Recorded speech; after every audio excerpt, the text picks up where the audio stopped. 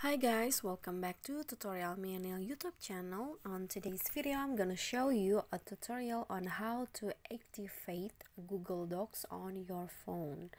So if you want to start using the Google Docs on your phone but you don't know how to start it or uh, where to get it, you just need to open the Play Store on your phone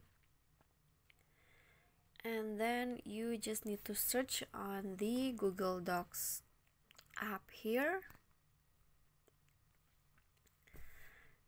Okay as you can see I've already installed the Google Docs on my phone but if you haven't you just need to uh, click on install first and then when you're done you just need to click open.